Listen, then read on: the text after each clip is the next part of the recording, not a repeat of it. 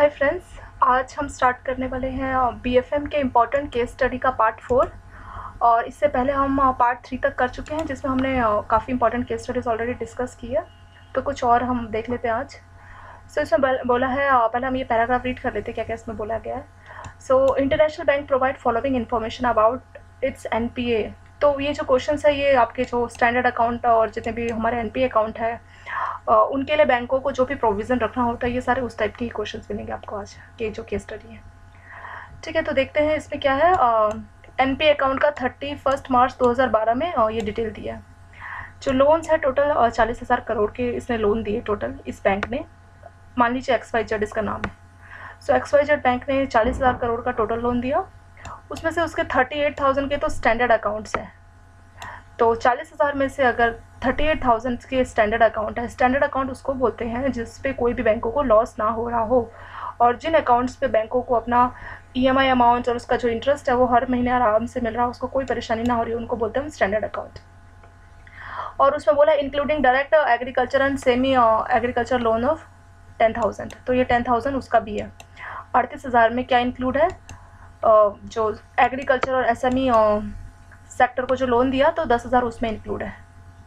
और तो इसका मतलब जनरल लोन कितने बचे? अड़तीस हज़ार में से दस हज़ार तो एस e वाले और एग्रीकल्चर वाले हैं तो जनरल बचे thirty eight thousand minus ten thousand यानी ट्वेंटी एट थाउज़ेंड और सब स्टैंडर्ड आठ सौ करोड़ है आउट ऑफ़ विच अब देखिए बैंकों के मैं आपको थोड़ा सा आइडिया दे देती हूँ किस किस टाइप के लोन होते हैं। मैंने आपको पहले भी थ्योरी में बताया था, पर आज एक थोड़ा सा रिवाइज करा देती हूँ आपको पाँच मिनट में, दो मिनट में सॉरी तो देखिए, पहले बैंकों के अकाउंट्स होते हैं स्टैंडर्ड स्टैंडर्ड के बाद सेकंड कैटेगरी के होते हैं हमारे सब स्टैंडर्ड और उसके बाद आते हैं हमारे डाउटफुल और डाउटफुल के बाद होता है लॉस तो लॉस को बैंक अपना रिटर्न ऑफ़ कर लेता है, अपनी बुक से उसका एंट्री हटा देता है तो लॉस को आप भूल जाइए.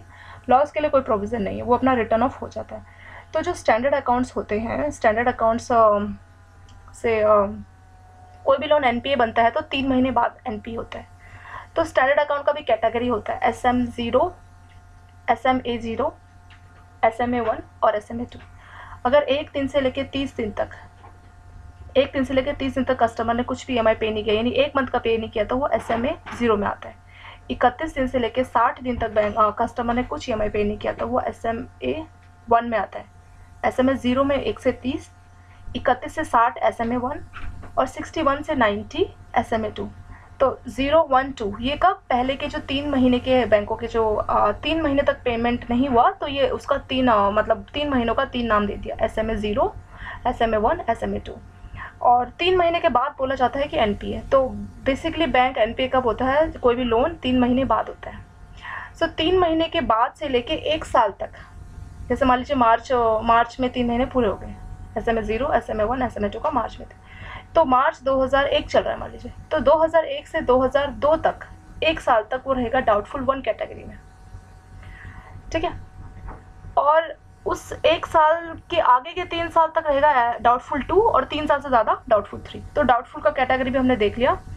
और स्टैंडर्ड लोन के बाद वो हमारा सब स्टैंडर्ड का जो हमारा कैटेगरी है, जो हमने S M S zero S M A one S M A two वो सब हमारा सब स्टैंडर्ड का ही कैटेगरी था। और जो स्टैंडर्ड जो नॉर्मल अकाउंट है, उसका कोई कैटेगरी नहीं। वो हर महीने चल रहा है तो उसका कुछ हमने टाइम नहीं दिया।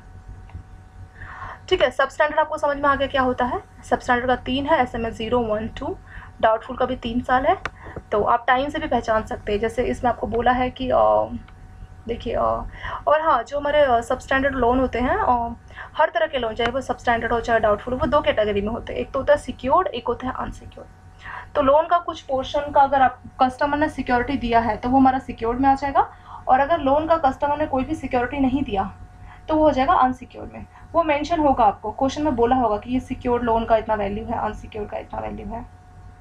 और डाउटफुल का भी आपका बिल्कुल ऐसे ही है डाउटफुल का भी सिक्योर और अनसिक्योर तो इनका कुछ परसेंटेज होता है, कितना प्रोविज़न रखना है वो आर अपनी साइड पर बताता है कि बैंकों को आपको इतना इतना प्रोविज़न रखना है। ठीक है? तो फिर अब इसको आगे रीड करते हैं। तो सब स्टैंडर्ड का अगर उन्होंने आगे बोला है कि सब स्टैंडर्ड में जो है 800 करोड़ है सब स्टैंडर्ड टोटल 800 करोड़ के हैं out of which unsecured substandard तो इसका मतलब 800 में से अनसिक्योर्ड वाले हैं 200 अगर आप कुछ भी सुनते हैं, जैसे सब स्टैंडर्ड या डाउटफुल कुछ भी आपको सुना, सुनने में मिले तो सब स्टैंडर्ड सुनते ही आपको याद होना चाहिए कि उसमें से कुछ पोर्शन सिक्योर का होगा, कुछ पोर्शन अनसिक्योर का होगा। कई बार ऐसे होता है कि पूरा का पूरे का बैंकों के पास पूरे का सिक्योरिटी रहता है, फिर भी उसको कुछ प्रोविज़न रखना होता है। तो क्वेश्चन में वो मैंशन रहेगा कि सिक्योर्ड है अनसिक्योर्ड है, या फिर फुल्ली सिक्योर्ड है, या फुल्ली अनसिक्योर्ड है, वो पूरा मेंशन होगा। तो इस क्वेश्चन में जैसे कि मेंशन है 800 करोड़ का अनसिक्योर्ड लोन है, उसमें से 200 करोड़ का वो अनसिक्योर है, ठीक है? 800 करोड़ का सब स्टैंडर्ड लोन है सॉरी और उसमें से 200 का अनसिक्योर है। तो इसका मतलब सब स्टैंडर्ड का सिक्योर कितना बचा? 800 में से 200 तो सिक्योर है। इसका मतलब 600 क्या होगा? अनसिक्योर होगा। वैसे ये डाउटफुल का कैटेगरी है। Doubtful up to one year का 800 करोड़ है।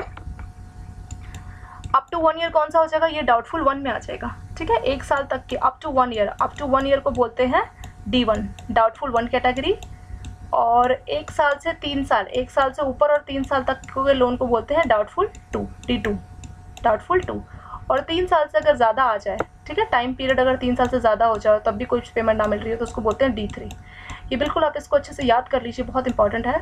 और इस तरह के क्वेश्चन बहुत पूछते हैं, ये प्रोविज़न के ऊपर और अभी आपको इनका रिस्क वेटा सेट वो मैं इससे आप, इससे आगे वाली केस स्टडी आपको अगले पार्ट में बताऊँगी वो. तो पहले उसका प्रोविज़न का आप सीख लीजिए, उसके बाद आपको रिस्क वेट का भी आ जाएगा. कुछ चीज़ें इसमें आपको रटनी होगी कि आरबीआई ने कितना कितना प्रोविज़न रखने को बोला है, वो मैं आपको बताऊँगी कैसे रहता है, क्या है, कुछ परसेंटेज है, वो भी हम देखेंगे। तो अभी आप इतना याद कर लीजिए बेसिक की सिक्योर्ड सब स्टैंडर्ड का मैं आपको बता चुकी हूँ सब स्टैंडर्ड क्या होता है सब स्टैंडर्ड का तीन कैटेगरीज है। डाउटफुल का भी मैं आपको बता चुकी हूँ D one D two D three और डी वन एक साल तक का अगर लोन है, अगर एक साल तक वेट किया सब स्टैंडर्ड के बाद तो अगर कुछ पेमेंट नहीं मिला तो एक साल तक वेट किया तो वो डी वन आ जाएगा। एक साल से तीन साल हो गया इस एक साल से आगे, तीन साल हो गया तो डी टू हो जाएगा और उससे आगे तो डी थ्री हो जाएगा। तो चलिए, ये लोन का हमने देख लिया। अब, इसका वैल्यू भी है कि doubtful up to one year above one year two three year तो ये डी टू हो गया ना one year above above one year यानी एक साल से तीन साल तक। एक साल से आगे, फिर तीन साल तक। ये हो गया डी टू और डाउटफुल अबव थ्री ईयर या डी थ्री तो सबका वैल्यू दिया और लॉस अकाउंट का वैल्यू भी दिया। अस्सी करोड़ का लॉस अकाउंट हुआ है, इसको रिटर्न ऑफ़ कर लेगा bank all doubtful loan are fully secure तो इसमें आपको कोई टेंशन नहीं लेना कि डाउटफुल का अनसिक्योर वैल्यू कितना होगा, क्योंकि जितने भी डाउटफुल लोन अभी आपको ऊपर दिए हैं D one D two D three वो तीनों के तीनों क्या है? फुल्ली सिक्योर्ड है। तो कुछ टेंशन नहीं है कि अनसिक्योर का क्या होगा। सो देखिए what is a provision on standard loan पहला क्वेश्चन है आपको स्टैंडर्ड अकाउंट में प्रोविज़न कैलकुलेट करना है। तो देखिए स्टैंडर्ड अकाउंट में दो कैटेगरी यहाँ पे। एक तो जनरल वाले हैं, ये लाइन पड़ी यहाँ से। Standard account thirty eight thousand के हैं। टोटल लोन तो चालीस हज़ार के उसमें से स्टैंडर्ड अड़तीस हज़ार के पर स्टैंडर्ड जो हमारे अड़तीस हज़ार के हैं, उसमें दो तरह के एक तो जनरल वाले हैं और एक एग्रीकल्चर वाले हैं। ठीक है? तो वही इन्होंने बोला देखिए तो अड़तीस हज़ार का टोटल स्टैंडर्ड है। तो उसमें से बोला है इंक्लूडिंग मतलब इस अड़तीस हज़ार में कुछ इंक्लूड है। क्या इंक्लूड है? एग्रीकल्चर और एसएमई लोन दस हज़ार के इंक्लूड है। तो हम बोल सकते हैं कि जो एग्रीकल्चर और एसएमई लोन है, वो दस हज़ार के होंगे। ठीक है? तो उसका वैल्यू दस हज़ार हो गया। और जो नॉर्मल नॉर्मली जो जनरल अकाउंट बच गए हैं जो एग्रीकल्चर वाले नहीं हैं, जैसे मान लीजिए हाउसिंग लोन कार लोन ये वो जनरल में वो सब आ जाएगा। तो वो कितना बचा? अड़तीस हज़ार में से आप दस हज़ार माइनस कीजिए, बचेगा अट्ठाईस हज़ार। ठीक है? तो अट्ठाईस हज़ार हमारा आ गया जनरल वाले अकाउंट और दस हज़ार आ गया हमारा बाकी वाले, जैसे कि एस एम ई और एग्रीकल्चर तो ये वैल्यू आपको रखना होगा। ये वैल्यू बिल्कुल आपको याद करना होगा कि जो हमारे जनरल अकाउंट होते हैं, उसमें बैंकों को कितना प्रोविज़न रखना पड़ता है। जो जनरल स्टैंडर्ड अकाउंट होते हैं, उसमें बैंकों को प्रोविज़न रखना होता है पॉइंट फोर परसेंट ये वैल्यू आपको बिल्कुल याद रखना है, इसमें मैं आपकी हेल्प नहीं कर पाऊँगी। ये आर की साइट पर दिया हुआ इतना वैल्यू कि अगर आपका जनरल वाले अकाउंट्स है तो आपको पॉइंट टू फोर परसेंट का रखना है। और एग्रीकल्चर वालों में थोड़ा सा डिस्काउंट दिया हुआ है। एग्रीकल्चर और एसएमई सेक्टर के लिए प्रोविज़न थोड़ा कम रखना है। कितना है वो? वो है पॉइंट टू फाइव परसेंट ये दोनों वैल्यू आपको एज इट इज़ याद रखनी होगी। Point four percent general account में ये प्रोविज़न का आपको परसेंटेज याद करना होगा। क्वेश्चन ऐसे ही होंगे। प्रोविज़न बताइए सब स्टैंडर्ड सिक्योर का अनसिक्योर का लॉस सिक्योर का प्रोविज़न बताइए, या स्टैंडर्ड अकाउंट का प्रोविज़न बताइए। तो प्रोविज़न तो हम तब बताएँगे ना जब हमें प्रोविज़न का परसेंटेज याद होगा। तो वो हमें खुद याद करना है। उसमें कोई हमारी हेल्प नहीं करेगा, वो हमें खुद याद करना है। तो क्या याद रखेंगे आप कि जो जनरल अकाउंट होते हैं हमारे हाउसिंग लोन कार लोन जो जनरल हमारे अकाउंट होते हैं स्टैंडर्ड ये हम बात किसकी कर रहे हैं? स्टैंडर्ड की।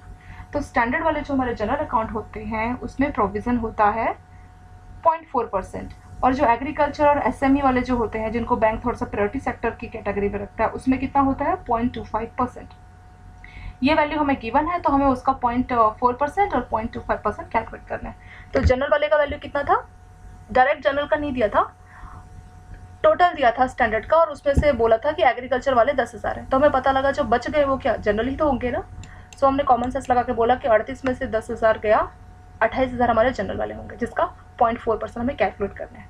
तो कितना हो गया ये? एक सौ बारह करोड़। ऐसे एग्रीकल्चर वाले कितने हैं? दस हज़ार। तो दस हज़ार का पॉइंट टू फाइव परसेंट आ गया पच्चीस करोड़। इन दोनों को आप ऐड कर लेंगे, एक सौ बारह और thirty five one thirty seven crore. तो ये हमने किसमें क्या ये वन थर्टी सेवन करोड़ क्या आया हमारा? ये आया हमारा total provision on standard accounts standard account में दो कैटेगरी थी, एक तो जनरल वाली थी और एक एग्रीकल्चर और एसएमई वाली थी. और जो हमारे जनरल वाले होते हैं, उसमें पॉइंट फोर परसेंट ये हमें याद रखना होगा और एग्रीकल्चर और एसएमई वाले में हमें प्रोविज़न देना होता है, रखना होता है पॉइंट टू फाइव परसेंट ये भी हमें याद रखना होगा. तो पहला क्वेश्चन इसके साथ फिनिश हुआ, मैं आपको दूसरा क्वेश्चन बताती हूँ. देखिए. What is the amount of provision on substandard देखिए. हर क्वेश्चन के साथ ये साथ साथ प्रोविज़न आता जा रहा है। तो पहले क्वेश्चन में आपने दो चीज़ें, जो प्रोविज़न है हमारा स्टैंडर्ड का पॉइंट फोर जनरल वाला स्टैंडर्ड का पॉइंट फोर और एसएमई और एग्रीकल्चर का पॉइंट फाइव वो आप एक कागज़ में कहीं साइड में नोट डाउन कीजिए, क्योंकि वो आपके बहुत काम आने वाला है। तो हर क्वेश्चन में आपको कुछ ना कुछ प्रोविज़न मिलेगा, वो आपको याद रखना है। तो अब पूछा what is the amount of provision हमें फिर से प्रोविज़न कैलकुलेट करना है किसमें? सब स्टैंडर्ड सिक्योर्ड लोन पे। सब स्टैंडर्ड लोन पे। सिक्योर्ड नहीं। सब स्टैंडर्ड लोन पे।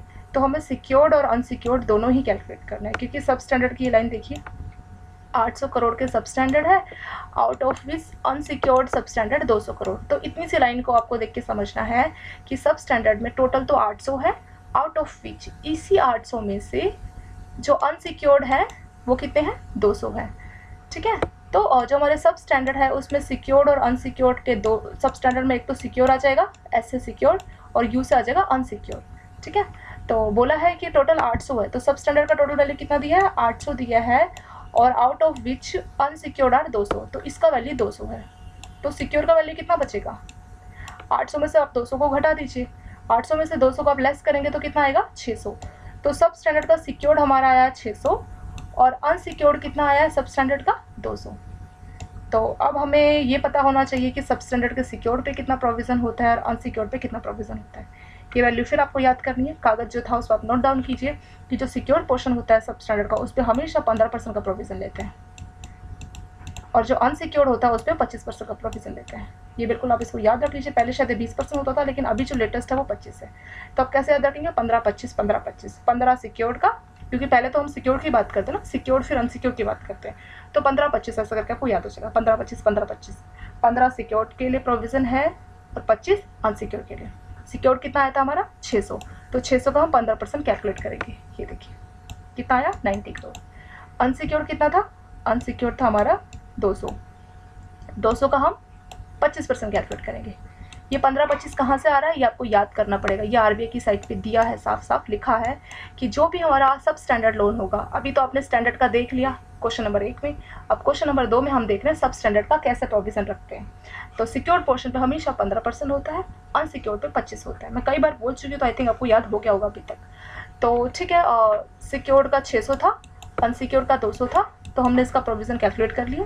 पंद्रह परसेंट सिक्योर का 200 जो कि अनसिक्योर है, उसका 25 परसेंट तो 50 और 90 दो वैल्यू आई हमारे सिक्योर का 90 करोड़ आया है प्रोविज़न और अनसिक्योर का 50 परसेंट सॉरी 50 करोड़ आया प्रोविज़न इन दोनों को ऐड कर दीजिए, क्योंकि टोटल प्रोविज़न पूछा है।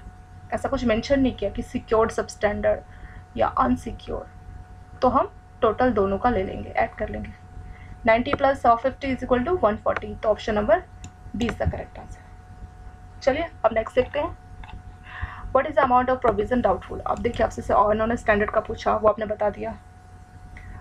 फिर उन्होंने सब स्टैंडर्ड का पूछा। ये कैटेगरी होती है ना, पहले स्टैंडर्ड होता है, फिर सब स्टैंडर्ड फिर डाउटफुल तो आपने दो के आंसर्स दे दिए, अभी आपसे तीसरा क्वेश्चन पूछ रहा है कि डाउटफुल वाले में बताइए आप।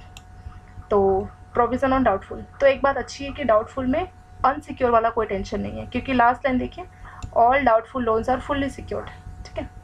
तो अनसिक्योर का कोई टेंशन नहीं है तो मैं आपको थोड़ा सा प्रोविज़न बता देती हूँ डाउटफुल में क्या होता है। ये भी आपको जो मैंने आपको कागज़ बोला उस पर आप ये भी लिखिए, इसके लिए डाउटफुल के लिए क्या प्रोविज़न होता है? देखिए D one D two D three D one D two D three क्या होता है ये मैं आपको पहले, अभी बता चुकी हूँ पहले की और स्लाइड में। ठीक है और ये हमारा सिक्योर्ड एस से सिक्योर्ड यू से unsecured so D one category में क्या होता है? पच्चीस. सिक्योर्ड पे पच्चीस लेते हैं. डी टू में सिक्योर्ड पे चालीस लेते हैं. और डी थ्री में सिक्योर्ड पे हंड्रेड परसेंट लेते हैं. ये सब परसेंट में सबके पीछे परसेंट लगेंगे और डी डी डाउटफुल का आपको अनसिक्योर्ड बिल्कुल अच्छे से याद हो जाएगा. क्यों? क्योंकि अनसिक्योर्ड में कोई और टेंशन नहीं है. इसमें पूरा आपको हंड्रेड परसेंट लेना है. तीनों में आपका हंड्रेड परसेंट आएगा. तो डी थ्री में देखा जाए तो सिक्योर्ड हो चाहे अनसिक्योर्ड हो, दोनों ही केसेस में आपको कितना लेना है? हंड्रेड परसेंट लेना है। किसका? डाउटफुल का। ये प्रोविज़न आपको बिल्कुल याद करना है, उसी कागज़ में आप लिख लीजिए, ठीक है? डाउटफुल का मैं आपको बता चुकी हूँ। डाउटफुल में दो कैटेगरी होती है सिक्योर्ड और अनसिक्योर्ड क्वेश्चन में गिवन होगा। कहीं भी लिखा होगा, जैसे यहाँ पे लिखा है कि all doubtful are fully secured तो इसमें कोई टेंशन नहीं, इसमें आप अनसिक्योर्ड वाली वैल्यू को इग्नोर कर देंगे, पर वैसे अगर आपको वैल्यू याद रखनी है, कईयों में पूछते भी हैं तो डाउटफुल का जो सिक्योर्ड और अनसिक्योर्ड का क्या है? डी वन का है पच्चीस सौ डी टू का है चालीस सौ और डी थ्री का है सौ और सौ। तो डी थ्री में कोई टेंशन नहीं है। बस आपको ये पच्चीस, चालीस दो याद करना पड़ेगा। चलिए, अब डाउटफुल का हमें निकाला है और बोला है ऑल डाउटफुल जितना भी हमें डाउटफुल का वैल्यू दिया है D one D two D three वो पूरा सिक्योर्ड है। तो हम अनसिक्योर्ड वाली वैल्यू को भूल जाएँगे। इसको आप इग्नोर कर दीजिए। So D one D two D three हमें सॉल्व करना होगा। ठीक है? D F one means doubtful one so so, देखिए कहाँ है value doubtful up to one year कितना वैल्यू है उसका? आठ सौ करोड़ है। सो so, ये आ गया हमारा आठ सौ करोड़। आठ सौ करोड़ ये हमारा डी वन का वैल्यू है। तो यहाँ पे आ गया हमारा आठ सौ करोड़। डी टू कितना है? Doubtful one year up to three year को डी टू बोलते हैं ना इन्होंने डायरेक्ट आपको डी टू नहीं दिया पर आपको डी टू का डेफिनेशन पता होना चाहिए कि एक साल से तीन साल तक के बीच का जो लोन होता है उसका नाम होता है D two mean doubtful category two so ये कितना दिया? है दो सौ। डी टू हमारा दो सौ। और डी थ्री का तो आपको डेफिनेशन पता होना चाहिए। डी थ्री जो कि तीन साल से ज़्यादा तक अगर हमारा पेमेंट ना हो जाए अबव थ्री ईयर्स जो कि एक सौ बीस करोड़ दिया हमें। तो हमें तीनों का वैल्यू गिवन है और ये हमने इसका प्रोविज़न जो कितना है, सब सिक्योर्ड है, क्योंकि अनसिक्योर्ड नहीं है। लास्ट लाइन लिखा है ना all doubtful are fully secured so unsecure कुछ नहीं है तो इस अनसिक्योर हंड्रेड परसेंट को बिल्कुल भूल जाइए। सबके सब जो डाउटफुल का ये जो आठ सौ, दो सौ, एक सौ बीस, सब सिक्योर्ड है। तो हमें सिर्फ़ सिक्योर वाला डाला है, ठीक? सो डी वन में हम आठ सौ का पच्चीस परसेंट कैलकुलेट करेंगे, जो कि यहाँ किया हुआ है। डी आठ सौ का पच्चीस परसेंट कैलकुलेट करने में आपको दो सौ मिलेगा। अगर हम डी टू कैलकुलेट करें डाउटफुल टू अब D two D F two जैसा आपको समझ आता है वैसा याद रखिए। ये 200 दिया है, और इसका हमें 40 परसेंट निकालना है। तो 200 का 40 परसेंट कितना हो गया? 80 crore. D three D three कितना दिया है? 120 और उसका हमें 100 परसेंट निकालना है तो पूरा 120 हो जाएगा। तो टोटल प्रोविज़न निकालना है। इन तीनों को आप ऐड कर दीजिए। 200 प्लस 80 प्लस 120 ये हो जाएगा 400 तो option number A is the correct answer ये बहुत इंपॉर्टेंट है डी डाउटफुल वाले का बहुत प्रोविज़न पूछते हैं। बहुत बार पूछते हैं ये क्वेश्चन तो ये बहुत ज़्यादा इंपॉर्टेंट है डी का। और इसका जो प्रोविज़न है, ये आपको बिल्कुल याद रखना अच्छे से। इसमें मैं आपकी हेल्प नहीं कर पाऊँगी। कैसे याद रखेंगे? पच्चीस चालीस सौ, पच्चीस चालीस सौ। पीछे तो सौ है ही मतलब जो अनसिक्योर्ड है, उसका तो सौ है। उसमें तो कुछ याद नहीं रखना। वो तो मैं पता जब डाउटफुल में अनसिक्योर्ड होगा, वो पूरा सौ ही होगा, लेकिन जो सिक्योर्ड है, उसमें याद रखना है। कैसे याद रखना है? पच्चीस, चालीस, सौ। पच्चीस, चालीस, सौ। पच्चीस, सौ डी वन के लिए, चालीस डी टू के लिए, सौ डी थ्री के लिए। और इससे पहले हमने अनसिक्योर्ड पढ़ा था ना डाउटफुल से पहले। अनसिक्योर्ड में क्या था? पंद्रह, पच्चीस पंद्रह, पच्चीस। और इसमें है पच्चीस, चालीस, सौ। ये लाइन आप बिल्कुल याद रख लीजिए, पच्चीस, चालीस, सौ। आप लाइन से बोलिए, पच्चीस, चालीस, सौ आपको याद हो जाएगा। और उसका पंद्रह, पच्चीस पंद्रह, पच्चीस, ऐसे चार, पाँच बोलिए, आपको याद हो जाएगा। चलिए नेक्स्ट क्वेश्चन देखते हैं। What is total provision on N P A loan so N P A में हमारा क्या क्या आता है? एक तो हमारा सब स्टैंडर्ड एन पी होता है और जो लॉस अकाउंट है वो भी एनपी होता है। सब स्टैंडर्ड लॉस और डाउटफुल ये तीनों हमारे क्या होते हैं? एन पी क्या हो जाएगा? सब स्टैंडर्ड डाउटफुल और लॉस तीनों को मिला के हमारा एनपीए बनता है। तो सब स्टैंडर्ड में हमने सॉल्व किया था 140 पहले क्वेश्चन में किया था। डाउटफुल हमने दूसरे क्वेश्चन में सॉल्व किया है। और तीसरे क्वेश्चन में सॉल्व किया हमने 400 और लॉस अकाउंट में हमें सॉल्व नहीं करना। जो लॉस अकाउंट है वो फुल्ली होता है फुल्ली लेते हैं। इस कुछ प्रोविज़न नहीं है, पूरा रिटर्न ऑफ़ हो जाता है। बैंक अपनी बुक्स इनको रिटर्न ऑफ़ करते हैं। कैसे करते हैं रिटर्न ऑफ़ जो भी बैंकों को प्रॉफिट हुआ है, वो इसमें अपना प्रॉफिट प्रॉफिट दे के उस लोन को पे कर देते हैं एक तरह से। चलिए, अस्सी करोड़ ये हमारा लॉस हो गया। तो तीनों का आप ऐड कर लेंगे। 140 हमारा हो गया सब स्टैंडर्ड ये भी एक एन होता है। 400 ये भी हमारा एनपीए और डाउटफुल और अस्सी, ये तीनों हमारा एन हो गया। एन मतलब नॉन परफॉर्मिंग इन तीनों ही केसेस में बैंकों के पास पैसा नहीं आया, उनको लॉस हुआ, इसीलिए उसको एन पी ऐसा डिफाइन किया। तीनों का आप ऐड कीजिए तो छः सौ बीस। Option number D is the correct answer next what is total provision on substandard and NPA standard और एनपीए में कितना प्रोविज़न है? देखिए एनपीए का प्रोविज़न तो हम अभी क्वेश्चन नंबर चार में देख लिए थे सबको ऐड करके। 620 आया था हमारा एनपीए का प्रोविज़न स्टैंडर्ड का भी पूछ रहा है। हमने पहले क्वेश्चन में सॉल्व किया था, देखिए। स्टैंडर्ड अकाउंट में कितना प्रोविज़न आया था? 137 ठीक है? तो स्टैंडर्ड का है 137 एनपीए का है 620 what is total provision on standard and NPA तो एनपीए का भी हमने अलग से निकाला है। स्टैंडर्ड का हमने पहले क्वेश्चन में निकाला। उन दोनों का आप ऐड कर दीजिए। एक सौ सैंतीस हमने स्टैंडर्ड का सॉल्व किया था। और एन का हमने 620 सॉल्व किया था। दोनों को हम ऐड कर लेंगे। कितना आ जाएगा? सेवन फिफ्टी सेवन तो ये हमारा टोटल प्रोविज़न आ गया। स्टैंडर्ड का भी मिला के और एन का भी मिला के। स्टैंडर्ड में बैंक बहुत कम रखता है। रखता है प्रोविज़न जैसे पॉइंट फोर परसेंट ये बहुत कम वैल्यू है ना। तो बहुत कम प्रोविज़न रखता है, पर रखता है। तो seven fifty seven B is the correct answer next देखते हैं। Six what is provision coverage ratio provision coverage ratio का मतलब होता है टोटल प्रोविज़न कितना आपने प्रोविज़न रखा है? प्रोविज़न कवरेज का रेशो का मतलब है टोटल प्रोविज़न और कितना आपका प्रोविज़न कवरेज रेशो कितना प्रोविज़न है और डिवाइडेड बाय कितना आपका एन है? ग्रॉस एन कितना है? तो चालीस हज़ार का हमारा लोन था, उसमें से स्टैंडर्ड अड़तीस हज़ार का था। जो दो हज़ार बच गया वो दो हज़ार क्या होगा? वो हमारा एन होगा। जब चालीस हज़ार के लोन में से स्टैंडर्ड अगर अड़तीस हज़ार का है तो एन ग्रॉस एन कितना बचा?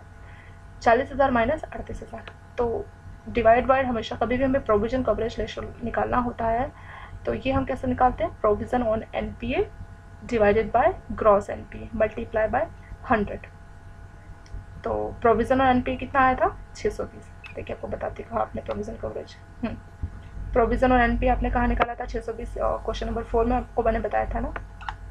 यही वैल्यू को यूज़ करनी सो प्रोविज़न कवरेज रेशो का मतलब होता है provision on N P A divided by gross N P इस फॉर्मूले को आप चाहे लिख लीजिए। Provision on N P A provision on N P A divided by gross N P A gross N P कैसे निकालेंगे? टोटल जितना हमें लोन दिया है, उसमें से स्टैंडर्ड को अगर हम माइनस करेंगे तो हमें क्या मिलेगा? क्रॉस एन पी ए ठीक है? So provision on N P A divided by gross N P A multiply by hundred इससे मुझे मिलेगा प्रोविज़न कवरेज रेशो ये फॉर्मूला को बिल्कुल याद रखना पड़ेगा। एक और formula so gross N P A चालीस में से अड़तीस हज़ार गया, दो हज़ार आ गया gross N P A provision on N P A छः सौ बीस हमने सॉल्व किया क्वेश्चन नंबर फोर में शायद, और मल्टीप्लाई बाई हंड्रेड तो thirty seven point nine thirty seven point nine option में नहीं है। चलिए, कुछ यहाँ पे टाइपिंग मिस्टेक होगा, पर जो भी आपका कैलकुलेशन करके आता आंसर वही हमारा आंसर होगा। ये गलत दिया यहाँ पे, और जब आप सिक्सटी टू को टू से डिवाइड करेंगे तो आपको डेफिनेटली थर्टी वन मिलेगा। तो सी इज़ द करेक्ट यहाँ गलत है। ठीक है तो हमारा कितना जाएगा? थर्टी वन परसेंट नेक्स्ट देखते हैं क्वेश्चन नंबर सेवन देखिए इसमें आपको ना मानना है, जैसे बोले ना इफ़ कंसिडर करना है आपको। If the secure if the security value in secured is छः सौ crore. If the security value in secured मान लीजिए substandard secured substandard loan कितने के थे? 800 के थे। और 800 के सब स्टैंडर्ड में बोल रहा है कि अगर मान लीजिए जो सिक्योर्ड वाले थे, वो 600 हैं इसको मान लीजिए। What is the provision on substandard account in substandard account जो हमारा सिक्योर्ड है secured what is a provision on substandard account so हमें क्या करना है? जो भी हमारा सिक्योर्ड पोर्शन है, ये हमारा क्वेश्चन सिक्योर्ड का ये लाइन आप इग्नोर कर दीजिए, ऐसा कुछ है नहीं। पंद्रह और पच्चीस परसेंट होता है। सब स्टैंडर्ड सिक्योर्ड तो what is a provision on substandard secured तो ये क्वेश्चन होगा सब स्टैंडर्ड सिक्योर लोन पर आपको प्रोविज़न बताना है। ठीक है? सिक्योर्ड तो बोला है वैल्यू उसका सिक्स हंड्रेड है सिक्योर्ड वाले का वैल्यू तो ठीक है सिक्स हंड्रेड तो सिक्स हंड्रेड आपको फिफ्टीन परसेंट कैलकुलेट करना है, क्योंकि सब स्टैंडर्ड का जो सिक्योर्ड होता है उस पर हमेशा पंद्रह परसेंट लेते हैं प्रोविज़न और सब स्टैंडर्ड का जो अनसिक्योर होता है उस पर हमेशा पच्चीस लेते हैं ये मैंने आपको पहले भी याद करवाया थोड़ी देर पहले ठीक है। तो ऐसा कुछ उन्होंने बोला इस नॉट बी डिफरेंशियल लाइन गलत है, ऐसा कुछ है नहीं। सिक्योर्ड और अनसिक्योर्ड का अपना अपना होता है सो जो प्रोविज़न होगा हमारा सब स्टैंडर्ड का सिक्योर्ड उस पर कितना होगा? 600 का 15 percent ninety crore. C is the correct answer और क्वेश्चन भी ऐसा है what will be the provision on substandard secured loan ठीक है? यहाँ पे सिक्योर्ड होगा, जो कि यहाँ गायब है तो आपको याद रखना है, यहाँ पे सिक्योर्ड है। Next if security value in D F one category is छः सौ what is the provision on ठीक है? तो अभी तक तो ऊपर बोला था कि जो डाउटफुल वाले हैं, उसमें कोई टेंशन नहीं है, सारे के सारे फुली सिक्योर्ड हैं। पर आप क्या बोल रहे हैं? जो डी एफ़ वन है डी एफ़ वन का आप देखिए, आपको कितना वैल्यू दिया? है ये दिया आठ सौ करोड़, ठीक है? सो डी एफ़ वन का हमें वैल्यू दिया है आठ सौ करोड़। ये हमारा आठ सौ करोड़। और इसमें से कुछ पोर्शन होगा सिक्योर्ड और कुछ होगा अनसिक्योर्ड आपने ऐसा क्यों बोला कि पूरा कुछ सिक्योर होगा, कुछ अंदर यहाँ पे लिखा था कि ऑल आर फुली सिक्योर्ड पर आपको यहाँ कंसिडर करना है। इस क्वेश्चन के लिए आपको कंसिडर करना है कि जो डी एफ़ वन कैटेगरी है, उसमें जो सिक्योरिटी वैल्यू मतलब जो सिक्योर्ड है सिक्योरिटी वैल्यू में सिक्योर्ड वाले जो हैं, वो 600 हैं। तो इसमें 600 वाले सिक्योर्ड हैं। तो अनसिक्योर्ड वाले कितने हैं? 800 में से आप 600 माइनस कीजिए, कितना बचा? 200 बचा ना? तो अनसिक्योर्ड वाले 200 हो गए। सिर्फ़ इस क्वेश्चन में ऐसा कंसिडर करना है। अभी तक हम मान के चल रहे थे कि सारे के सारे फुल्ली सिक्योर्ड है। अभी हमने जो सॉल्व किया था पीछे कि वो 800 का पूरा सिक्योर्ड था अनसिक्योर्ड था ही नहीं। पर सिर्फ़ क्वेश्चन एट में आपको मानना है। लिखा ना इफ़ सिक्योरिटी वैल्यू अगर सिक्योरिटी वैल्यू 600 की है और टोटल डाउटफुली 800 तो अनसिक्योर कितना बचा? 200 बचा। 800 सौ माइनस छः सौ, दो सौ। तो पूछा what is amount of provision so D F one में आपको प्रोविज़न बताना है। सो so, इसमें हमें सिक्योर्ड और अनसिक्योर्ड दोनों का कैलकुलेट करना होगा और फिर हम ऐड कर देंगे दोनों को। तो डी वन के लिए मैंने आपको तरीका याद कराया था पच्चीस चालीस सौ। पच्चीस था डी वन के लिए चालीस था डी टू के लिए और सौ था डी थ्री के लिए। ये सिक्योर का था और अनसिक्योर का मैंने याद नहीं कराया क्योंकि अनसिक्योर इसमें फुल्ली हंड्रेड परसेंट लेते हैं। सो so, आपको जो सिक्योर्ड पोर्शन है इसका पच्चीस परसेंट कैलकुलेट करना है। ये हम डी वन का ले रहे हैं, ठीक है? तो बाकी दो को भूल जाइए डी टू और डी थ्री का डेटा पच्चीस और अनसिक्योर का लेते हैं सौ परसेंट। सो दो सौ का आप सौ परसेंट निकालेंगे तो पूरा दो सौ ही आ जाएगा। और छः सौ का अगर आप पच्चीस परसेंट निकालेंगे तो आपको मिलेगा डेढ़ सौ। तो दोनों को ऐड कर लीजिए। ये सिक्योर के लिए है और वो अनसिक्योर के लिए। डेढ़ सौ अगर दो सौ ऐड करेंगे तो आपको मिलेगा साढ़े तीन सौ। C is the correct answer next the security value same ऐसे इन्होंने क्वेश्चन डी टू के लिए भी पूछ लिया।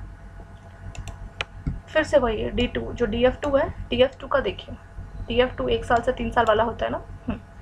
ये दो सौ है फुल्ली ये डी एफ़ टू दो सौ है। इसमें कुछ होगा सिक्योर्ड और कुछ होगा हमारा अनसिक्योर्ड तो बोल रहा है कि सिक्योरिटी वैल्यू पचास सॉरी एक सौ पचास है। तो सिक्योरिटी वैल्यू एक सौ पचास है। टोटल 200 है। उसमें से सिक्योर्ड वाला 150 है। इसका मतलब अनसिक्योर्ड वाला कितना बचा? 200 सौ माइनस एक सौ पचास is equal to fifty crore. तो ये हमारा क्या बचा? अनसिक्योर्ड वाला। ये हम किसके लिए कर रहे हैं? डी टू के लिए कर रहे हैं। मैंने आपको फॉर्मूला याद करने के लिए क्या बताया था? मतलब प्रोविज़न याद करने के लिए पच्चीस, चालीस, सौ। पच्चीस किसका था? डी वन का था। चालीस डी टू का था। तो इस बार हम डी टू कर रहे हैं तो पच्चीस वाले को भूल जाइए, सौ वाले को भूल जाइए। ये हमारा डी टू का है। डी टू में प्रोविज़न कितना होगा? सिक्योर्ड पे चालीस परसेंट और अनसिक्योर्ड पे अनसिक्योर्ड पे तीनों ही केसेस में हंड्रेड परसेंट लेते हैं। सो डेढ़ सौ का अगर हम चालीस परसेंट सॉल्व करेंगे तो आ जाएगा साठ करोड़। और अनसिक्योर का पूरा, जो कि हमारा अनसिक्योर फिफ्टी है, इसका पूरा हंड्रेड परसेंट लेंगे तो फिफ्टी आएगा। Sixty plus fifty is equal to one one zero एक सौ दस करोड़ आ गया so A is the correct answer चलिए नेक्स्ट क्वेश्चन देखते हैं। Question number ten what is the percentage of gross N P gross N P कैसे निकालते हैं? टोटल आपका जितना भी लोन दिया हुआ है, उसमें से आपका एन पी ए है कितना? ग्रॉस एन हमने पीछे सॉल्व किया था ना? Provision coverage ratio on N P के लिए। ग्रॉस एन पी कैसे निकालेंगे? चालीस हज़ार में से अड़तीस हज़ार जो कि हमारा स्टैंडर्ड है, उसको घटाएँगे, दो हज़ार आएगा तो वो हमारा ग्रॉस एन पी आ गया। लेकिन हमें ग्रॉस एन पी का वैल्यू नहीं, उसका परसेंटेज बताना है। तो कंपेयर किससे करेंगे? कंपेयर तो टोटल लोन से करेंगे ना। ग्रॉस एन पी है, कुछ भी स्टैंडर्ड कितना है, वो टोटल से ही तो होगा। तो टोटल है हमारा चालीस हज़ार। तो बीस हज़ार डिवाइडेड बाई चालीस हज़ार, और किसी का भी परसेंट सॉल्व करने के लिए वहाँ मल्टीप्लाई बाय हंड्रेड लगता है। किसी के आंसर को आपको परसेंट में चाहिए तो आंसर पे वहाँ पे मल्टीप्लाई में हंड्रेड लगता है। तो आप इसको सॉल्व कर लेंगे। Two thousand multiply by hundred divided by forty thousand तो आपको मिलेगा पाँच परसेंट तो आपने एक और फॉर्मूला सीखा यहाँ पे कि जो ग्रॉस एनपी का परसेंट निकालने के लिए हम क्या करते हैं ग्रॉस एनपी का value divided by total loan total loan में आपका ग्रॉस लोन एनपी लोन होगा स्टैंडर्ड होगा, सारा लोन का ऐड होगा जो फोर्टी थाउज़ेंड दिया है। Question number eleven what is the amount of net N P net N P कैसे निकालते हैं? ग्रॉस एन पी भी आपने निकाला था वैल्यू परसेंट नहीं पूछ, आपको वैल्यू पूछ है, कितना नेट एन पी होगा? तो ग्रॉस एन पी आप ऑलरेडी निकाल चुके हो. ग्रॉस और ग्रॉस एन पी और नेट एन पी में आप डिफरेंस देख लीजिए क्या होता है. ग्रॉस एन पी जितना भी आपका लोन है, उसमें से आप स्टैंडर्ड को अगर हटा देते हैं, जैसे कि चालीस हज़ार का लोन था, और उसमें से अड़तीस हज़ार जो कि हमारे स्टैंडर्ड अकाउंट थे उनको हमने हटाया तो जो बचेगा, इस केस में दो हज़ार बच रहा है. तो दो हज़ार होता है हमारा ग्रॉस एन ठीक है? ग्रॉस हमें समझ में आ गया। ग्रॉस में से अगर हमने जो भी अपने प्रोविज़न रखे हैं हमने एनपीए पे जो भी अपने प्रोविज़न रखे हैं एन सिर्फ़ एन वाले प्रोविज़न जो कि हमारे 620 थे। हमने देखे ना पहले क्वेश्चन में? एनपीए का प्रोविज़न 620 था ये मैं आपको पहले बता चुकी हूँ। तो ग्रॉस में से अगर हम एन वाला प्रोविज़न हटा देते हैं देखिए मैं आपको एन का प्रोविज़न बताती हूँ हमने छः सौ बीस कहाँ सॉल्व किया था? हम्म, यहाँ सॉल्व किया था। टोटल प्रोविज़न और एनपीए तो 620 आया था क्वेश्चन नंबर फोर तो यही 620 हमारा प्रोविज़न अगर हम ग्रॉस एन में से जो भी हमने प्रोविज़न रखे उसको हटा देते तो हमें क्या मिलेगा? नेट एन क्योंकि प्रोविज़न वाले को हम नहीं काउंट करेंगे। जब प्रोविज़न हमने रख ही लिया तो उसको हम क्यों एनपीए मांगे? इसीलिए ग्रॉस और नेट में वही जैसे ग्रॉस सैलरी और नेट सैलरी में क्या फ़र्क होता है?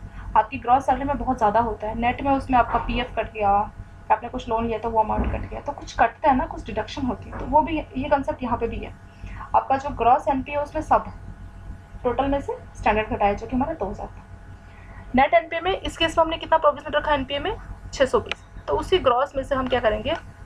अपना छः सौ बीस घटा देंगे माइनस कर देंगे। तो जो तेरह सौ अस्सी हमें मिलेगा माइनस करके, वो होगा हमारा नेट एन ठीक है? तो तेरह सौ अस्सी कितना आ गया हमारा? ऑप्शन नंबर बी तो हमारा नेट एन पे कितना आ गया? तेरह सौ अस्सी। Option number B is the correct answer तो इसके साथ आपके ये ग्यारह इंपॉर्टेंट क्वेश्चन मैंने आपको आज कवर कराया है। ये बहुत इंपॉर्टेंट केस स्टडी था। तो आप इसका अच्छे से प्रैक्टिस कीजिए और इसमें से बहुत से क्वेश्चन पूछे जाएँगे डेफिनेटली बहुत इंपॉर्टेंट है ये।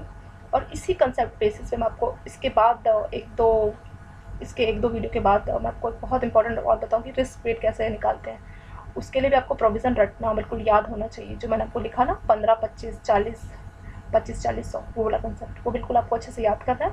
क्योंकि जब अगली वीडियो कराऊँगी तो उसी के वो बेस उसको बेस मान के हम आगे करेंगे। चलिए, तब तक आप इसको अच्छे से याद कीजिए प्रैक्टिस कीजिए and thank you very much for watching this video